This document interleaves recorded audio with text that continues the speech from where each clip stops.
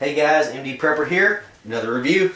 This time of the Paratrax Bowie knife from Bud K.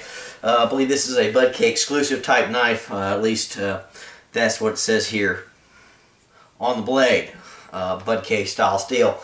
Markings, all that. Um, first of all, I would not describe this as a Bowie knife. Uh, it's a big, well, mid-size survival style knife. Uh, very cool, lots of options, all that sort of thing. I don't call this a Bowie. Um, doesn't have a Bowie blade, so not a Bowie. Uh, we'll talk about the sheath here in a minute. Get that the heck out of the way. Now, stats on this bad boy. Uh, it is stainless steel, appears to be what I believe is 440 stainless. Um, I don't know that for a fact. It's not listed, just uh, sharpening this thing up. Uh, that seems to be about the quality that it is. I uh, have to say this thing does come uh, quite dull on the blade. Um, might be okay for machete type tasks, but uh, this thing's too short for your standard machete stroke. Uh, you're not going to get the uh, good swing you are on a longer blade. Uh, I did sharpen this up very easily, which is one of your little part, uh, pocket sharpeners, hand sharpeners, all that along this blade here. Uh, sharpened up very, very well. Very nice. Here's some stats on this thing. I paid $16.99 from Bud K for this. Uh, apparently they used to be as cheap as $10 a piece back in the day from the comments. It is uh, 13 and a quarter inches over long, overall length rather. Um, the uh, blade itself is 7 and 1 8 inches long uh, to there. Um, it does come with this little buttstock knife, if you will, held in by tension only there she is. She's wrapped in a little bit of nylon cord. That's not actual paracord. Um, let me talk about this little knife first to get out of the way. It is only beveled and sharpened on this one side. Uh, other side's flat. Uh, I don't see a lot of purposes purposes for this knife. Um, I've sharpened up a little bit on the one edge, but uh, can't see this as much of a knife. I'd rather have a little pocket fold or something like that. Uh, might actually take the cordage off of this and wrap around the blade for something else. Um, again, it uh, secures here in the base just on friction. From what I've heard, I'm not experienced this yet myself with chopping, but uh, this thing will fly out if you're doing too much chopping. So, not so sure I like that a whole lot. It, it's okay. I'm going to put it here to the side. Now, blade itself, um, you got your uh, chopping edges. You've got your cutting edge. Uh, the chopping edge here up front uh, you can use kind of like a kukri. Uh, it's a lot shorter, smaller than a kukri, so uh, doesn't have quite the arc that you're going to get and want for uh, heavy-duty chopping, big stuff, but uh, it'll get the job done. Now, down here is your standard cutting type style edge. Um, back side of this blade here is flat, uh, so you could baton a very small amount with this right here. Uh, I could see batoning with this okay. Have not batoned with it yet. And now you also have the sawback edge here. Now, uh, this is not the finest saw back edge. Um, a lot of people will say this looks like a Ken Brown tracker. Uh, I'd say it's inspired by Ken Brown tracker, but uh, not entirely meant to be the same thing. Uh, the saw edge, got double edge teeth on it, if you can see there. Uh, only thing I don't like about this, they are squared type edges on it. See that right there. Uh, every type saw blade I like, or a saw, has got some uh, edges to it this would work okay, but it's going to be kind of hard to get that initial bite to saw with. Uh, it'll get the job done. Um, it's kind of thick here on the back. You could sharpen that if you wanted to, but I really don't see a purpose with it being uh, this far inside the back side of the blade. Uh, this is more for batoning and that sort of thing. Um, this blade is considered full tang. See it right there and there.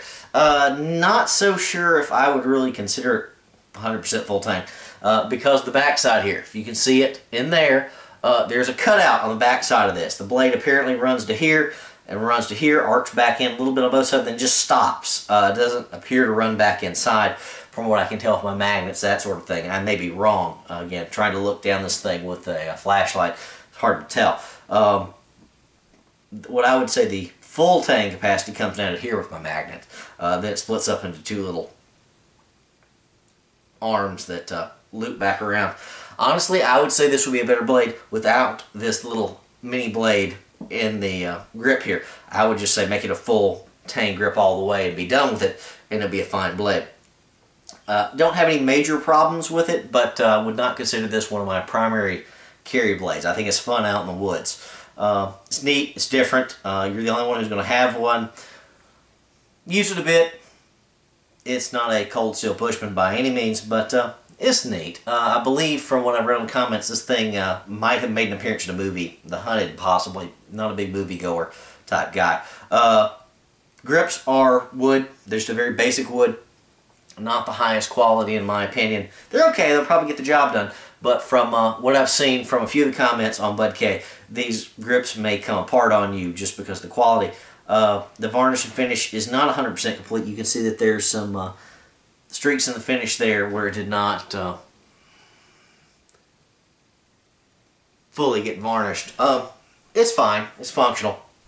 Now, you got your little cutout here which I like. I like that little cutout. That's not a bad thing in the wood. Uh, gives you a better purchase grip on the blade. This thing handles amazingly well uh, for defensive use, chopping, that sort of thing. It feels very good in the hand, uh, very natural. Um, this is just a basic cheap nylon cordage. Set up close. It uh, appears to be attached. Don't think see it under there. Just uh, melted on with uh, some heat and all that to weld the thing together. Keep it together. I'm going to use this thing for a while longer, may post another video on it. Uh, I expect this to come off at some point. I would probably wrap it with real paracord, something like that. Uh, what I might do, I may uh, refinish the grips. I may make some different grips. Or, what I think would be probably better with this is to uh, put more of your uh, rhino liner type uh, bedding coating, plasticized type coat around this thing at some point. so, if I decide to take the grips off, if I don't like these grips, I may um, sort of quasi-plasticize them and see if I like it. I think it'd be quite good with that. Take this off, put some uh, rubberized uh, insides there. I think this would work real well. Personal opinion on this blade. Uh, overall, for $16.99, it is not a bad blade at all. Uh, I can think of a lot better blades for a little more expensive, but man, this thing is cool looking. Uh, it's just different. Uh, again, I can think of better things. But for the price, a decent addition. Now, the sheath. Uh, standard type nylon sheath, uh, relatively lightweight, just has your standard belt hole loop there. That's about it. Uh, you've got your uh, upper clasp here, which I really think is frankly useless on this blade the way it secures. Uh, let me secure it for you here in a second. You slide it in here like a, a longer blade. You've got three snaps. Hey, come on now.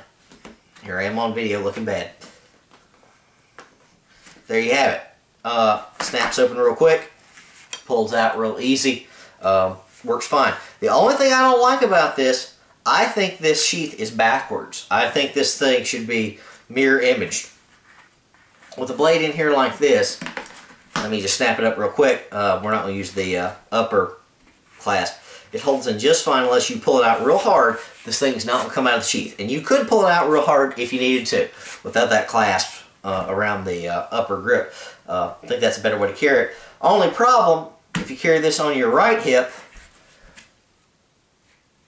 it's backwards. Um, this blade is not going to come up the right way. It's going to come up backwards on you. Uh, you're going to need to flip the blade around. If you carry it on your offhand and you pull it up with your right hand off your offside grip, it's probably going to be fine. Uh, so uh, I'm not sure if this was designed for offhand carry. Uh, that's probably the only way I would carry it if I was going to carry it. Carry something else on my strong side. Um, just the way the sheath is built. Um, don't know if that was by intention or by mistake. It's, it's not a huge grip, gripe about it, but uh, I'd prefer it to be a right-hand strong side carry, being right-handed myself. Uh, anyway, this is the Paratrax Bowie knife. Again, not exactly a Bowie knife, a uh, bit of a clone of the uh, Ken Brown Tracker. Little knife in the bottom looks kind of cool. Not really all that useful, in my opinion. Um, I've got a pocket knife that's going to do better than that. But uh, anyway, a neat style blade. Not a bad pickup for $17. Very unique to add to your collection. Uh, again, I think it's 440 steel. Uh, need to sharpen the blade a little bit. Took about 5-10 minutes to sharpen up. Did real well. Alright guys, MD Prepper on the Paratrax Bowie. Thanks. Out.